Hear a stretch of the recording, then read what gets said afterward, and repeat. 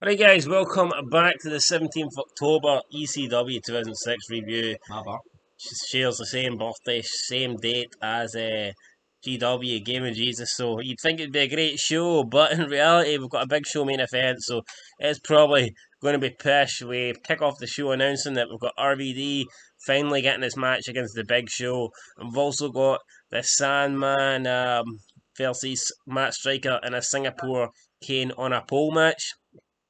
So they announced these two matches at the start of the show. You're probably thinking there's a lot of focus going into these two matches. But there's actually five matches on the card tonight, which is a wee bit weird. Anyway, we kick off Sandman versus Striker. Um, decent, you know, it was, it was alright. Sandman comes out, Striker follows him. They have a decent match. Striker gets the cane first, hits Sandman with a couple of good. Night, to be honest. Hits Sandman with a couple of decent shots. Sandman gets the Sandman like punches Striker and the cane flies perfectly out of Striker's hands and Sandman catches it. I mean, I don't know if they were going for this spot or whether it just happened to happen. Like a Jackie Chan movie when he that was it, it was fucking great. I mean, I wouldn't really expect Sandman to be able to make a catch like this, but uh, I mean, maybe Austin's good at catching the beers and Sandman's good at catching canes and diseases and shit like that. So beers as well catching the drugs. Then he hits uh, Striker over the dome with a cane a few times. Striker exits the ring, sees that he's bleeding, can't seem to handle the uh, the sight of his own blood, and he he uh, heads to the back then, and Sandman gets a DQ victory. Up next, we had a backstage interview with RVD. Decent, it was alright. Probably one of his oh, better interviews. Um, he says Much he's going better than when he was champ. Yeah, he says he's going to beat Big Show tonight. Then we move on to CM Punk Rene Dupree rematch for last week. CM Punk wins again. Um, to be honest, getting a wee bit old of these quick two, three minute CM Punk wins. We need to see him with the, the big boys. Well, I mean, Rene Dupree was a big boy, wasn't he? Like, I mean, yeah, he's the most extreme guy in he's ECW. Uh, I mean, it just goes to show you, like, why, why did Rene Dupree and, like, Shannon Moore get these fucking segments and vignettes for weeks just to get buried back to back. It doesn't make much sense to me. Well, anyway, Punk.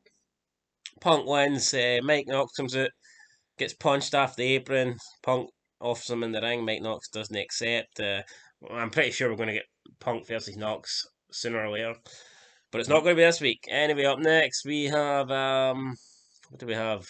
It was Test, I believe.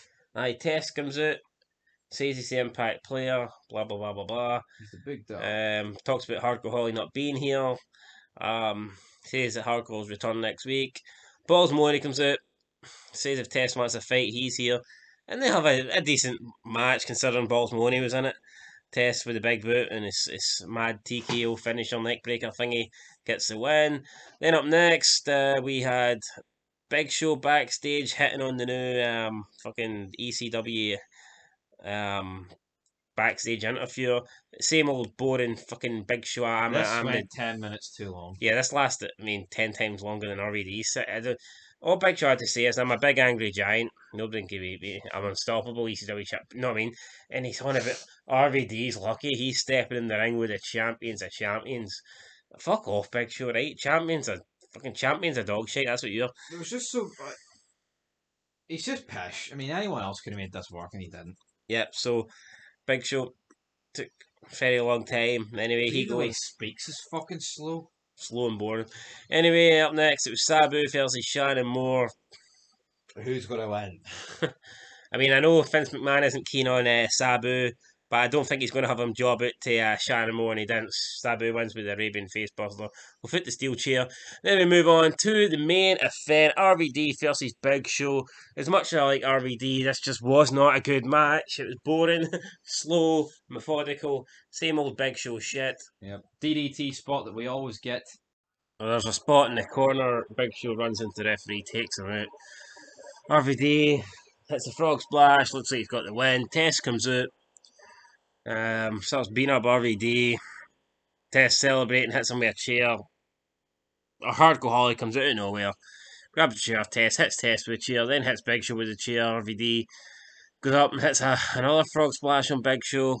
Referee comes round, counts the, the pin, and uh, that's pretty much it. Show just goes off there pretty quickly. It shows you highlights, it shows you the replay of hardcore hitting Test and Big Show with a chair, and that's it. RVD celebrates. Big Show makes it that he's the man, and yet he doesn't win a match clean. It always has to be Fiat interference. I know he didn't win this, but Yeah, I mean, you know, so. Oh, I don't know. Wasn't really, wasn't really a good episode. If I'm being honest, um, there wasn't very funny moments I laughed at. well, there's a good thing where um, Joey Styles was talking about the physique of um, Oh, that was alright. Rene Dupree, and I know, Taz is like, you need to stop looking at men. but uh, that's overall, brilliant, but that's not really. I mean, it's part. Yes, it's part of the show, but you know, it's not really.